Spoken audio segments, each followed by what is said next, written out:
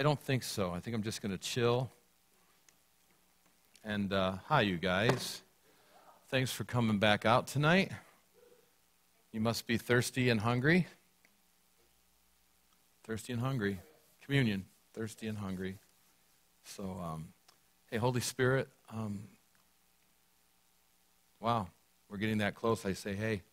Um, um, you know, have your way with every one of us tonight. Anything less than your opinion, your agenda, your thought would be an inappropriate expression of the evening.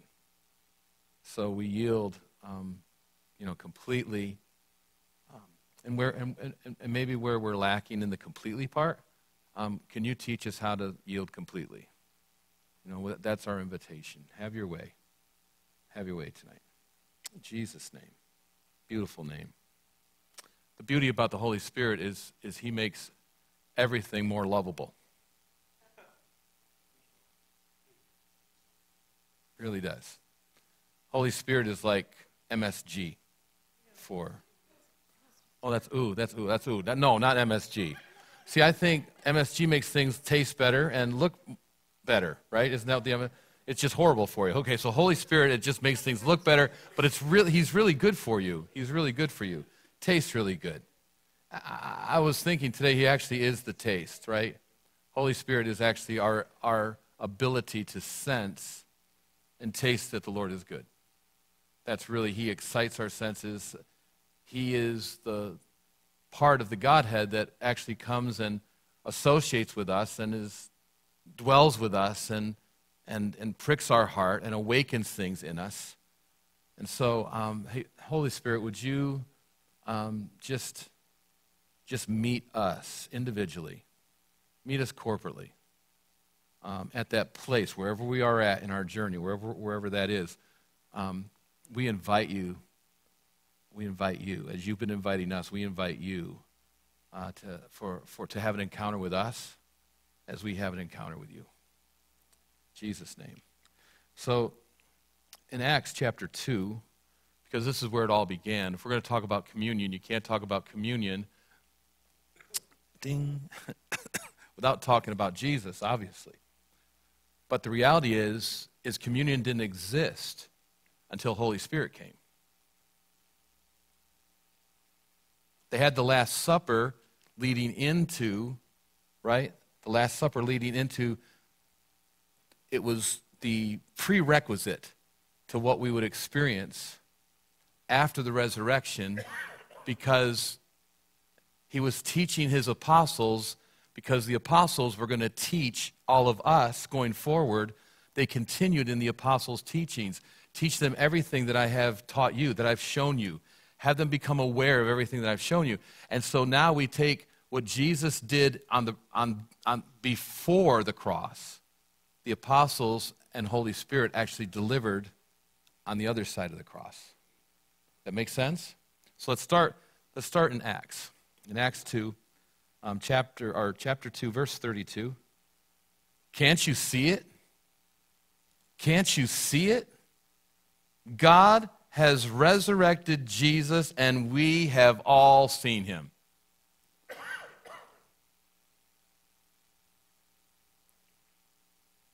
That's the first hurrah of the day.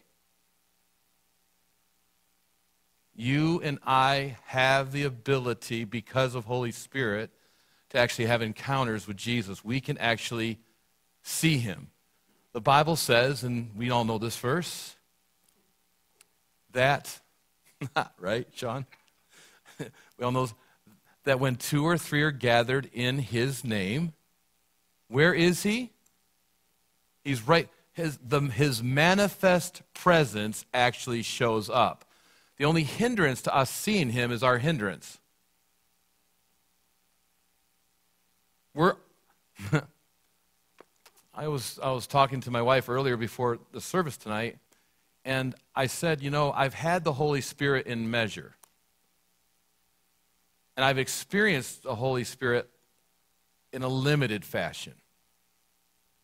But I'd like to propose to all of us tonight that Jesus, the Father, and Holy Spirit are actually available in full measure.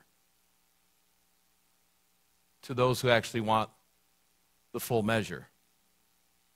The only thing that ever stops us from more of Him is our lack of desire for more of Him.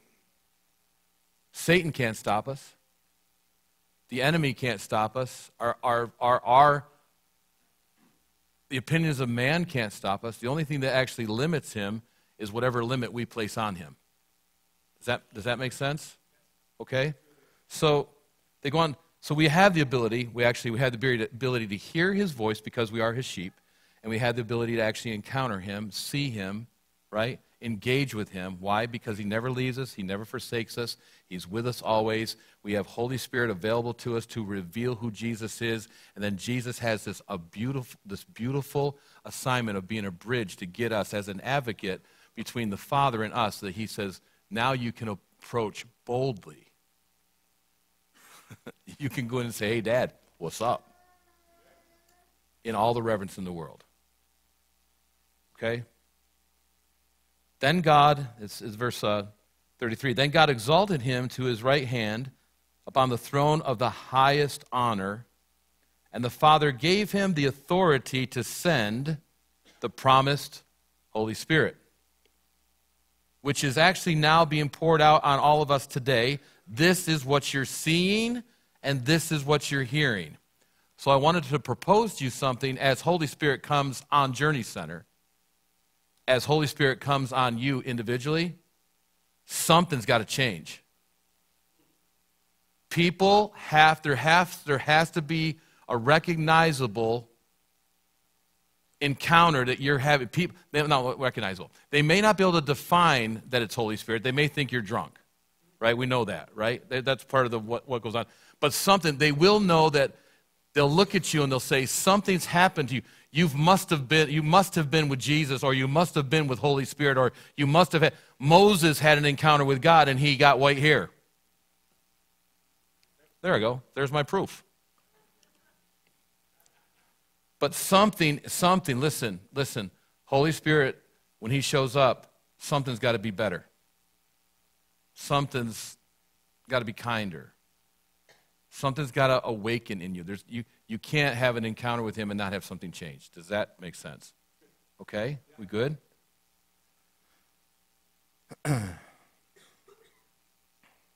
David wasn't the one, verse 34, David wasn't the one who ascended into heaven, but he was the one who prophesied. That's pretty good company, ascending into heaven or prophesying.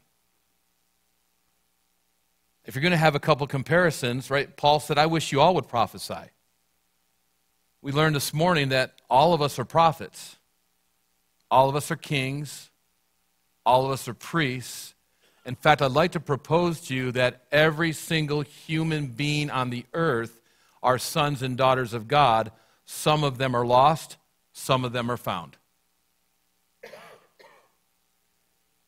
Yeah? You can't lose something unless you first own something. Okay? This helps you to see people. This helps you to see yourself because this is, this is all playing right up to communion. The Lord Jehovah said to my Lord, I honor you by enthroning you beside me until I make your enemies a footstool beneath my feet, beneath your feet. Now, everyone, say everyone, everyone in Israel can know for certain. Everyone at Journey Center can know for certain. Everyone in Elmira can know for certain. Everyone in Horseheads can know for certain that Jesus, ready for this? Whom you crucified. We can blame a lot of people, blame a lot of things, but the more encounter that you have with Holy Spirit, the more understanding of the value of the crucifixion that Jesus provided for us and the cost that he provided for us and the fact that he had to do it because he didn't just take upon our sins, he became sin for me. I don't have anybody loves me that way.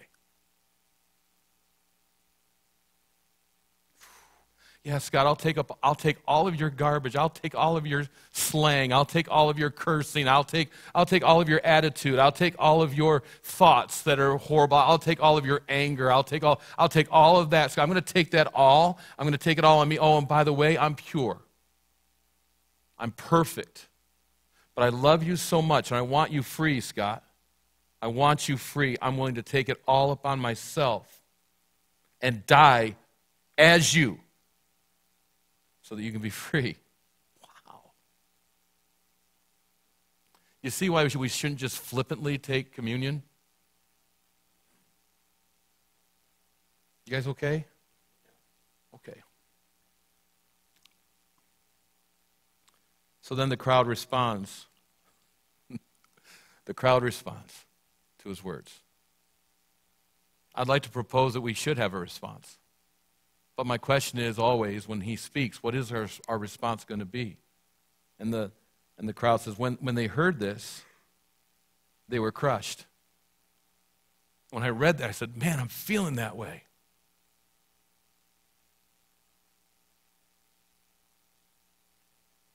It should bother us that we wounded him. It should bother us that he was bruised beaten. Chunks of his body got ripped from his, his, his, his, his skeleton for me. Those were my stripes. Those were my beatings. Those were. Huh. Does that make sense?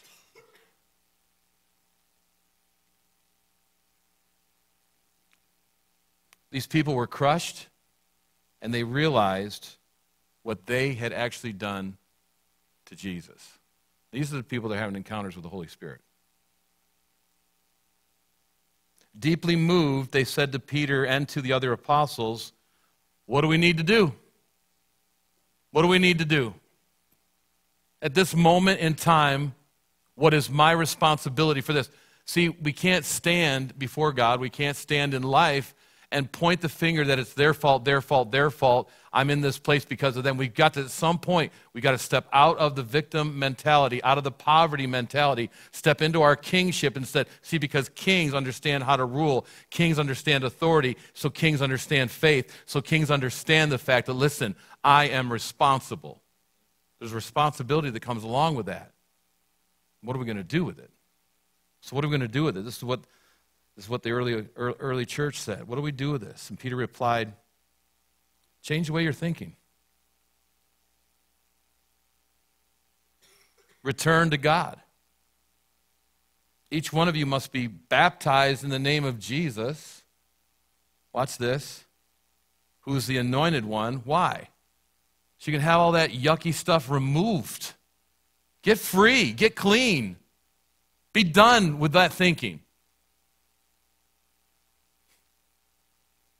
Then, say then, then, watch this, you may take hold of the gift of the Holy Spirit. Mm, see the order of things. You awaken to reality, you deal with reality, you confront reality, and then you step into a new reality because you're a new creation and you say, what was done no longer needs to be talked about. I'm completely forgiven. Let's move on into that which you now have for me. So now that I am clean, cleansed, baptized, washed, whiter than snow, come, Holy Spirit. Stay with the order, if you would.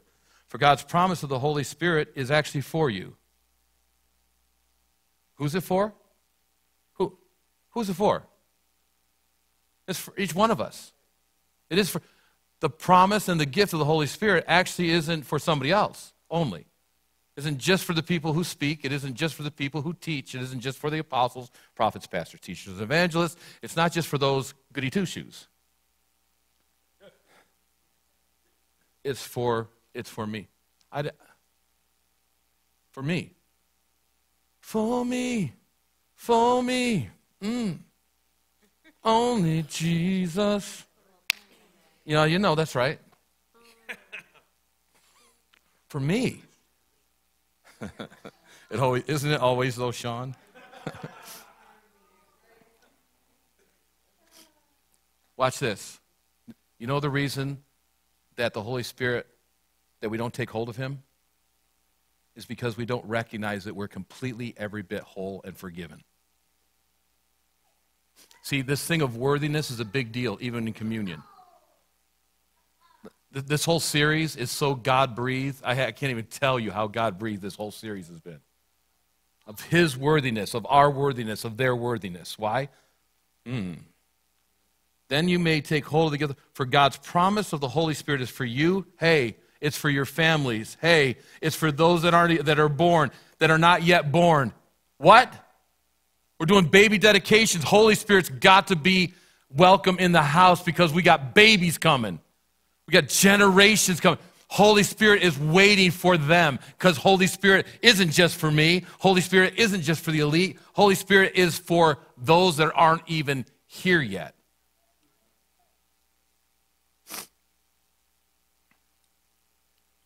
For those yet to be born, and for everyone whom the Lord our God calls to himself. Guess what? What is his will?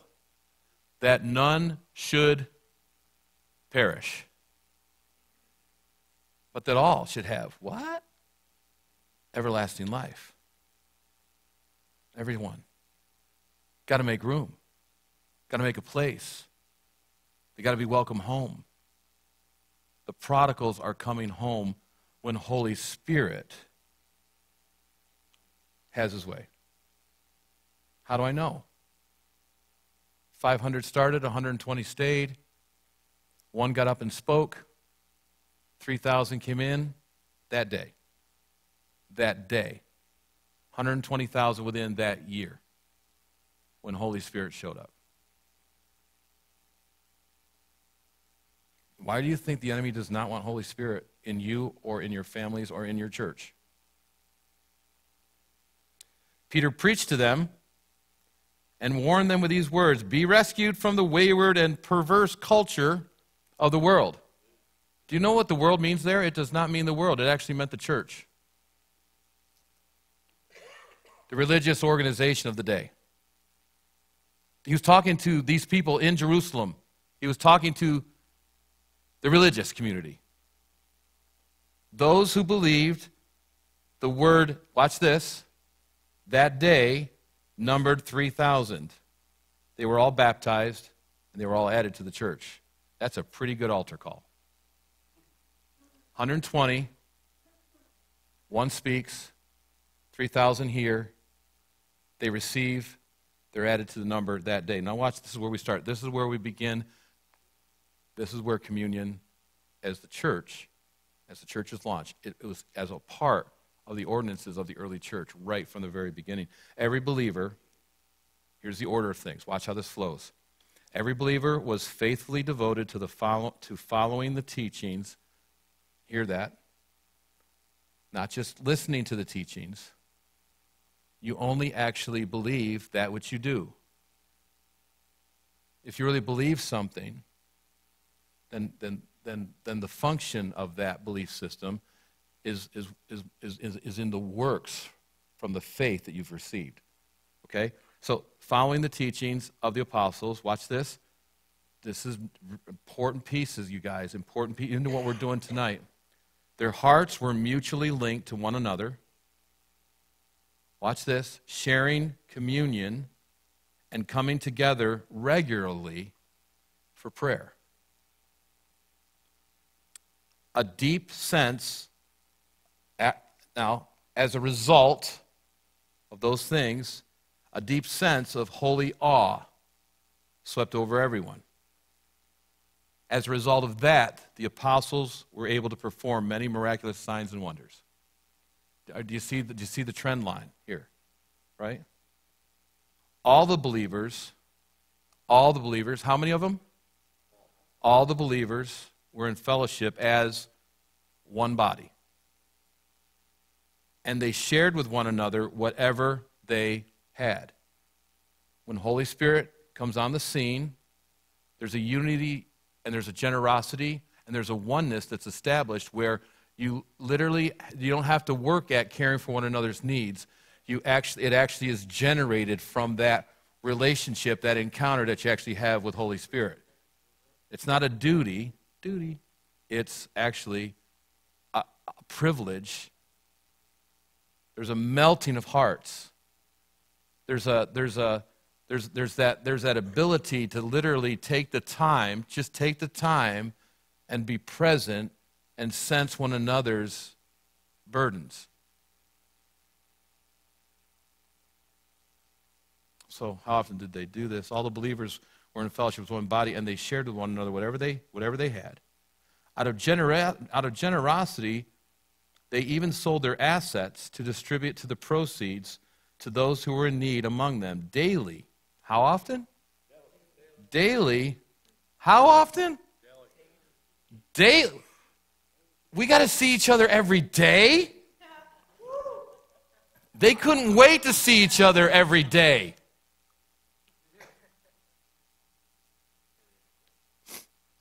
Daily, huh? They wanted to be with each other daily. They met together.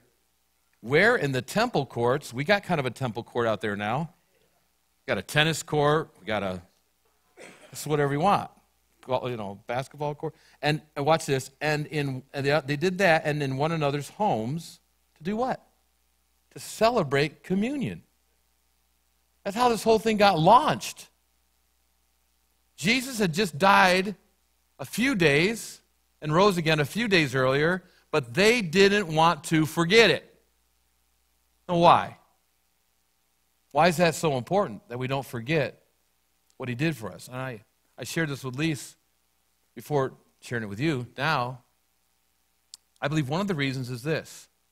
We live in a culture, humanity is this, has this mindset what have you done for me lately?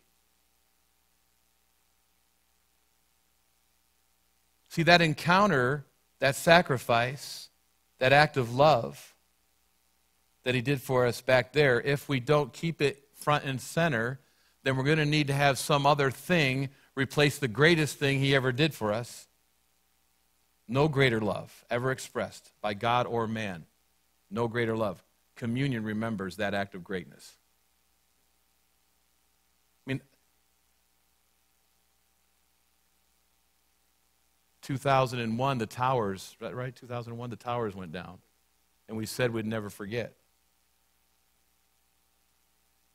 The celebrations have lessened and lessened and lessened and lessened and lessened over the years. He knew that the thing that would hold us and keep us, even in our pursuit, even in our choices, would be I, want I, I need to remember, I need to remember that price that was paid for me, not just because how great you are, God, but I need to be reminded every day in a world that wants to destroy my identity who I am. I need to be reminded that I am worthy of such an amazing price. Because in that worthiness, I have the ability to stand up and applaud a great sacrifice because you consider me so valuable. That sacrifice would not have been made if you were worthless. But I don't know that we believe that. Do we believe that? Like, I don't, it's taken me a long time to actually believe, believe that, that price that was paid. Now, see, some people are struggling with that because, well, no, I'm, I'm not worthy. I'm, I'm nothing's, there's nothing good about me. There's nothing good except for Christ in me. I just, you know, you can say that, and, and maybe I could even agree with you about that, about you and about me. But here's reality that's not his statement about us, that's not his declaration about us. No greater love has a man. Listen, listen. You're adored, you're loved. Communion is not just remembering his sacrifice, but it's remembering the value and the worth of that sacrifice that was given for me, which raises my value. When you feel valuable, you act valuable. When you see yourself as a king, then you act like a king. When you see yourself as a priest, you act like a priest. A prophet, you act like a prophet. When you see yourself as a son, that your father gave up a son so that he could have relationship with you as a son, you, you, you take that sonship very, very valuable. Does that, make sense. So.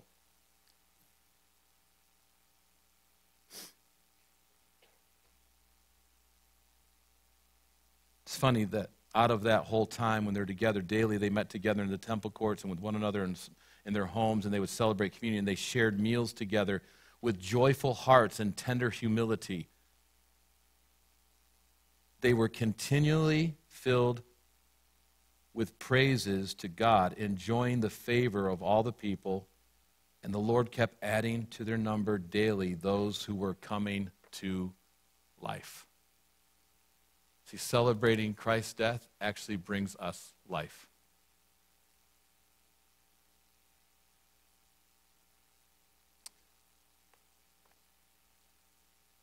But then something happened.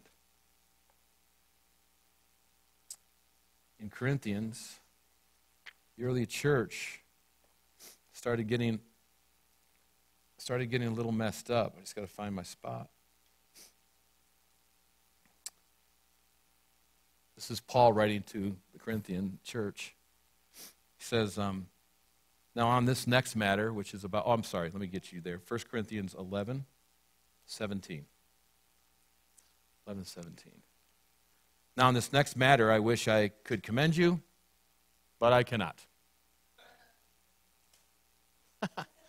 That's just the best way to start a letter from, from Holy Spirit to you.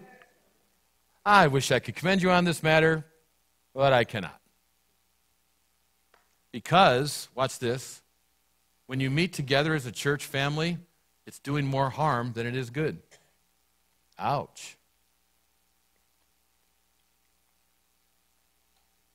I've been told many times that when you meet as a congregation, that's what I said to Paul was, you're listening to gossip, aren't you, Paul?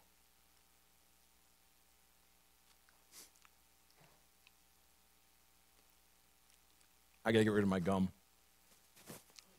Paul said, I've been told many times, I've been told many times that when you're getting together as a congregation, you got some junk going on.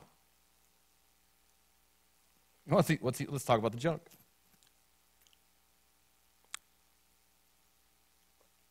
I might have by the end of the week. You got some divisions going on among you.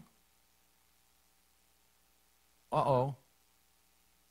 So what you're telling me is, is people who cause divisions, it'd be better if we just didn't have church. Well, yeah? No, I mean, what, how do you read it? When you guys are getting together, it'd be better. You're doing more harm getting together than if you just stayed apart. If you're going to have divisions, and oh, and then he says cliques emerging. And then he goes this, and to some extent, that doesn't really surprise me.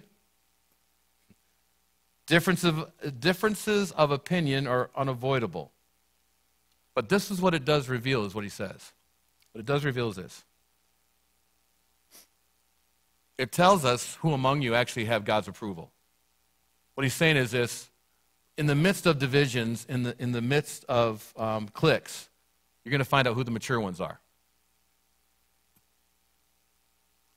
Because the mature ones don't engage in it.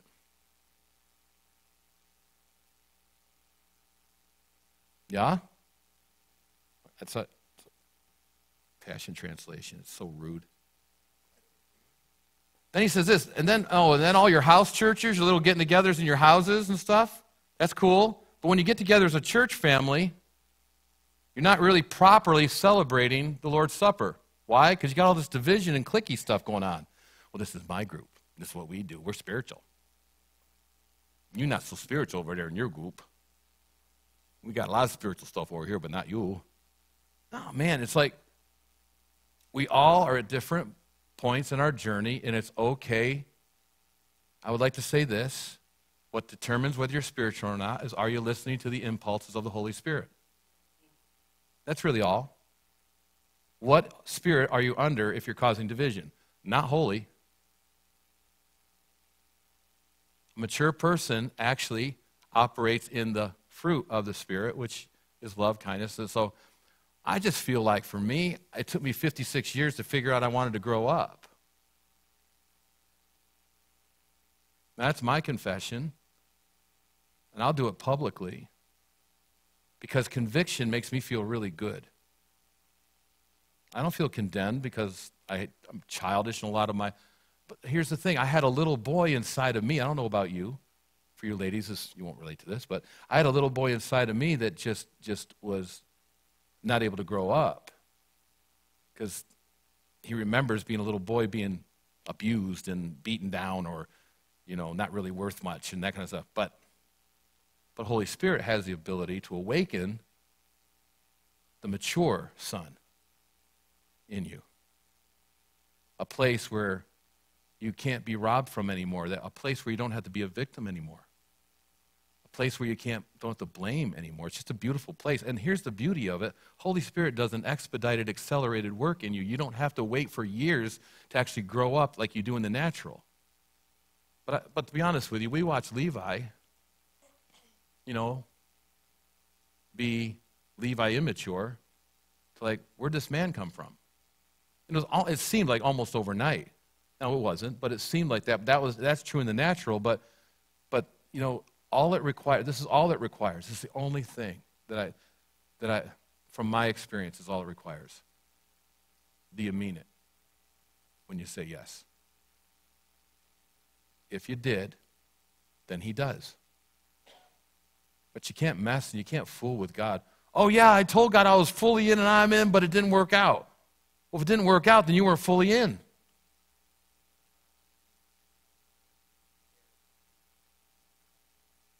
There are no victims in the kingdom of God. None. That doesn't mean that we're not going to have hurts. But in the context of that, in the context of that, like I said this morning, if you can not grieve the Holy Spirit for one second, then you cannot grieve the Holy Spirit the rest of your life. Just remember that rhythm. Remember what that sense feels like when you're in sync with His heart. And then do everything to stay there. Because the enemy is going to want to get you out of that rhythm. Right? And I believe that communion is a part of that. Watch, watch this. He says, um, goes on, uh, all your house churches, okay, for when it comes time to eat, some gobble down their food before anything is given to others. One is left hungry while others are getting drunk. Just to prove to you that they did drink grape juice for communion. So, don't you all have homes where you can eat and drink? Don't you realize that you're showing a superior attitude by humiliating those who have nothing? Are you trying to show contempt for God's beloved church? How should I address this appropriately? If you're looking for my approval, uh, you won't find it. I have handed down to you, watch this, I've handed down to you what came to me by direct revelation from the Lord Himself. And this is what He handed down to them. This is what I believe the Lord would like to hand down to us tonight. The same night in which He was handed over, He took the bread and He gave thanks.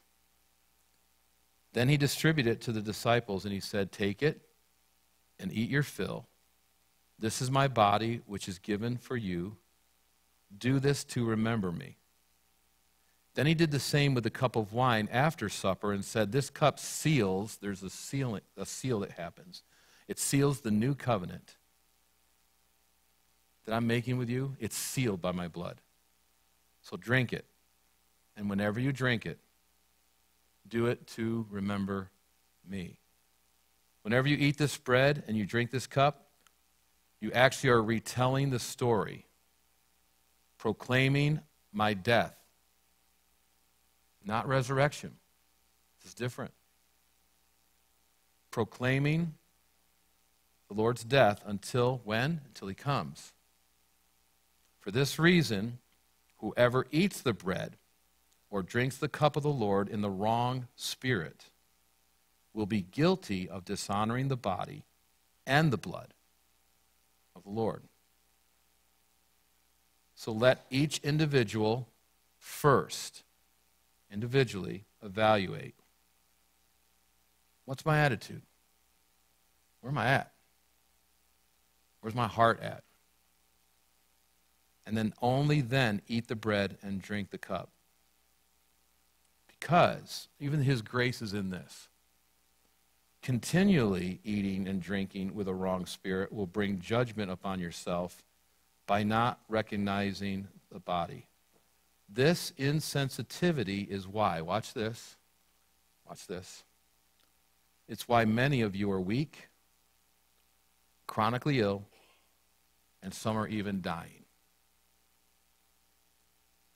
If you do not sit in judgment of others, you will avoid judgment yourself.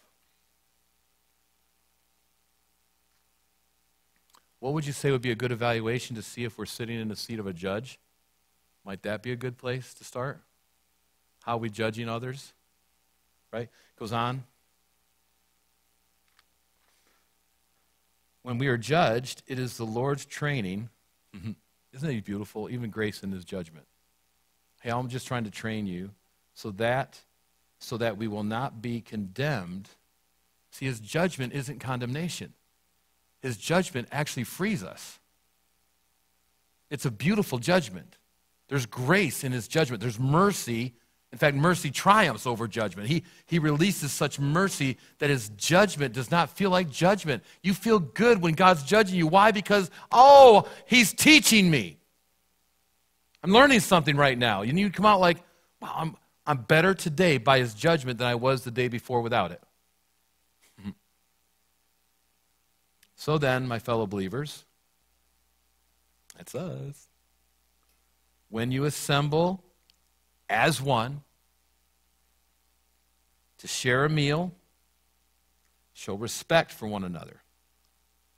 Wait until everyone's served. Yeah, but it might get cold. I know. If you are that hungry, eat at home first. I'd like to propose we all should be eating at home before we come to church so there's lots to lots to lots to go around in spiritual things. Come filled up and give. Huh. If you are hungry, okay, so that so that when you gather together you will not bring judgment upon yourself. Oh, so, by the way, when I come to you, I will answer all the rest of your crazy questions, Corinthian church, that you've asked me. I'm not going to do that in writing. I'm going to. I just, he's just, I just, I love Paul. He's just beautiful. So, with that tonight, what I'd like to do is I would like us to actually um, not just take communion, but to experience communion. This is what I want to, this is what I want to point out, and the main point I want to have tonight, because I, I believe there's a strategic alignment, there's a tie between communion and healing. And healing is a part of what's the word, babe? Our it's the children's bread.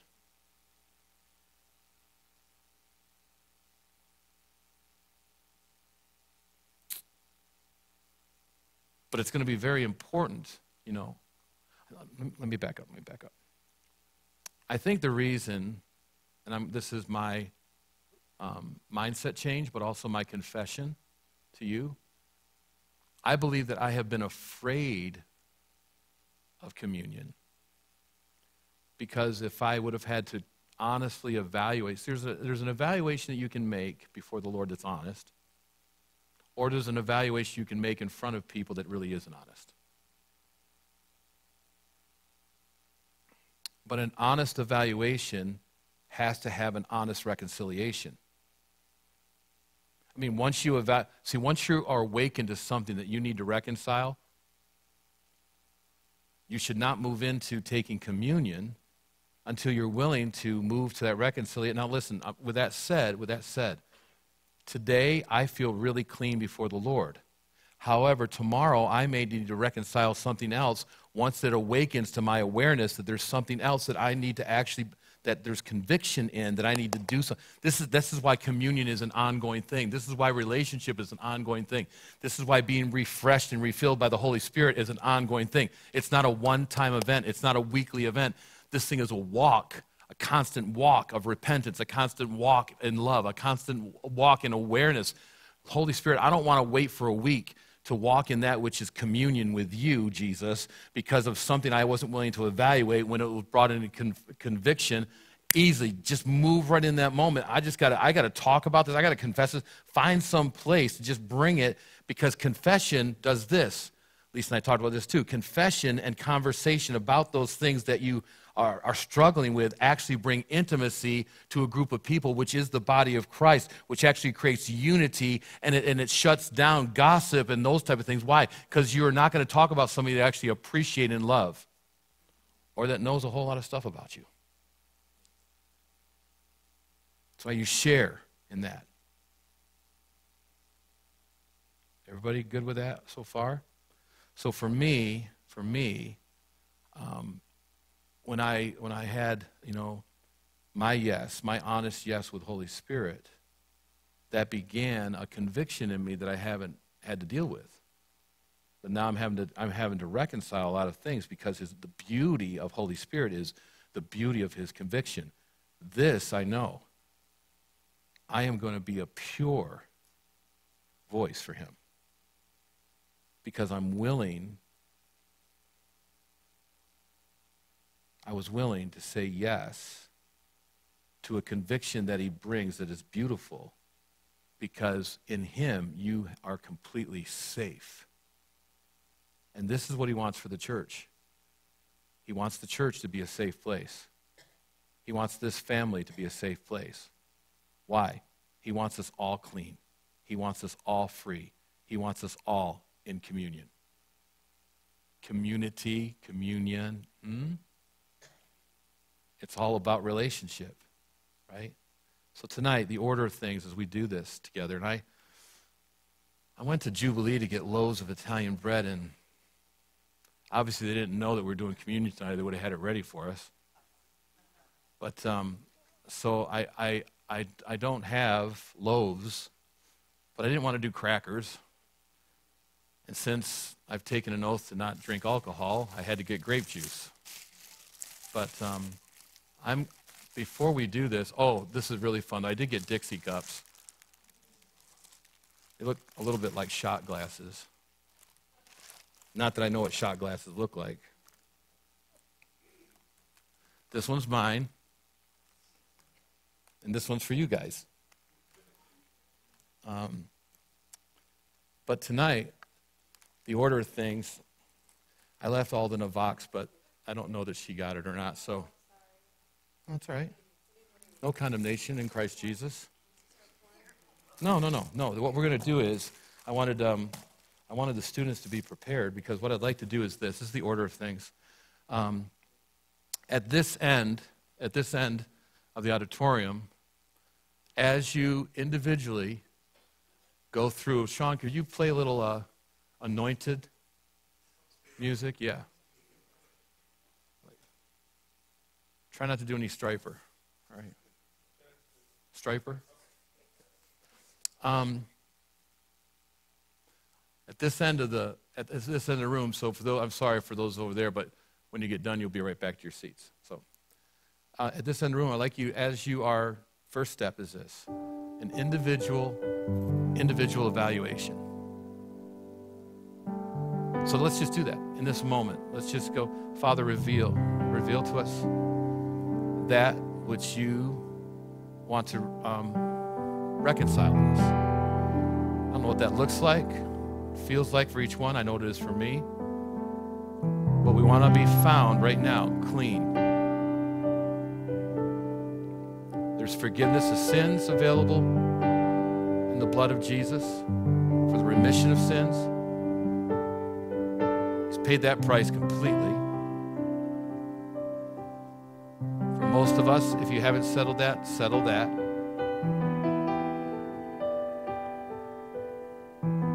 And there's tormenting thoughts that's available to you. That's, that's available for freedom, for deliverance from that. That's also found in sozo. You can be free from things that want to own you. Complete freedom, right? Let's reconcile that. And then there's physical healing available tonight. Let's prepare our hearts for that. Don't let any hindrance be in the room. None. No hindrance in the room. Father, we're going to move into a place of delight and of joy, not from past experiences or past losses or past lack of encounters. We're moving into a new moment, a new day. Because, Holy Spirit, you are generating something in us out of love that's creating a hope that's allowing our faith to rise.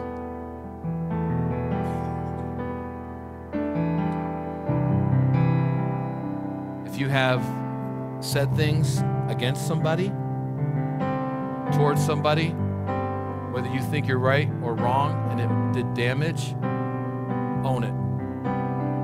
I'm done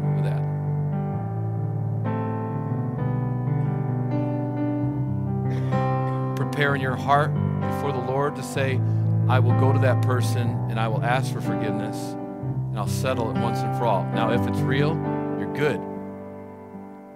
If you're hedging on it, don't take communion tonight. But here's the biggest one. This is what I when I was reading scripture tonight. The biggest one that we struggle with is we take the cup and we break and we, we take of the bread, we partake of the bread, his body, and the cup, which is his blood, and we take it unworthily. This is really good news. It's not your faithfulness that makes you worthy. It's his faithfulness that makes you worthy. The kicker is we've got to accept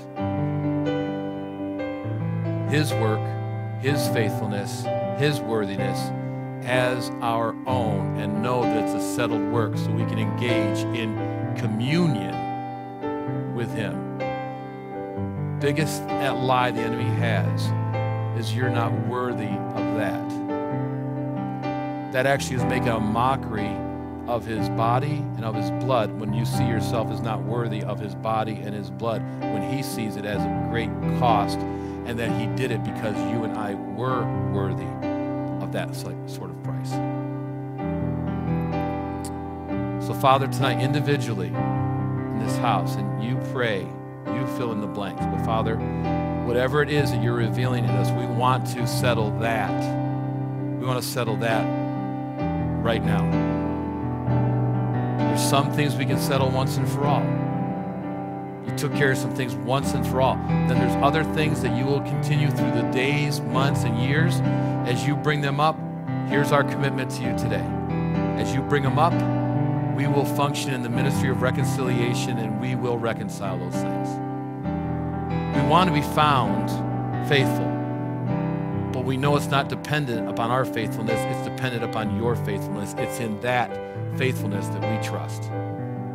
We find our life breath, our being.